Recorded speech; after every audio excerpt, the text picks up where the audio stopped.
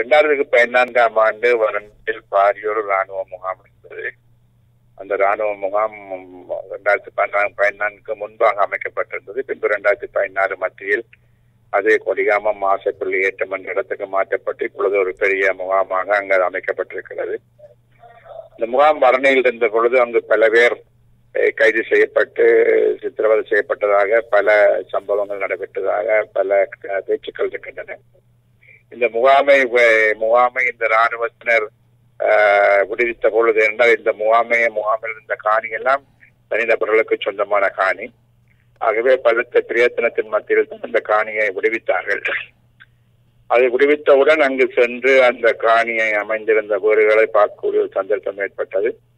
அவ்வாறு ஒரு சூழ்நிலையில் தான் அங்கிருந்த ஒரு வீடு இவ்வாறு ஒரு சித்திரவதை முகாமாக மாற்றப்பட்டு மேல் கூரை முழு கம்பிகள் அடிக்கப்பட்டு யாரும் தப்பி போக வண்ணமும் அந்த அறை ரத்தம் தோய்ந்த கைவிரல் அடையாளங்களுடன் அந்த அறை இருப்பதை நாங்கள் பார்க்கக்கூடியதாக இருந்தது.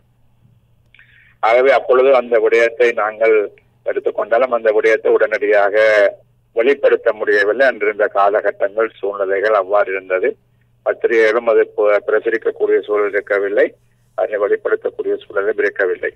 ஆகவே இப்பொழுது ஒரு மாறி இருக்கக்கூடிய சூழ்நிலையில் இது இந்த விடயங்கள் வெளிப்படுத்தப்பட வேண்டும் என்ற அடிப்படையில் தான் இந்த விஷயங்களை நாங்கள் இப்பொழுது வெளியிட்டிருக்கிறோம்.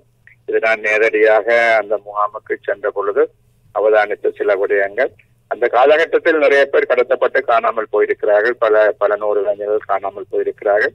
ஆகவே இதை போன்ற இன்னும் பல்வேறு முகாம்கள் இருந்திருக்கலாம்.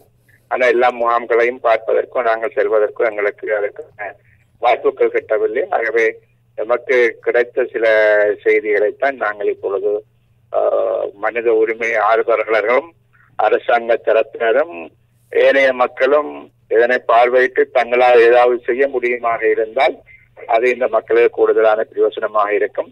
ஆகவே இவ்வாறான சம்பவங்கள் இங்கே திருகோணமலையிலும் நடந்திருக்கின்றது. ஆகவே ஒரு முழுமையான ஒரு விசாரணை வந்து நடைபெறும் பட்சத்தில் பல விஷயங்களை வெளிக்கொண்டு வர முடியும் என்று நான் கருதுகிறேன். நன்றி.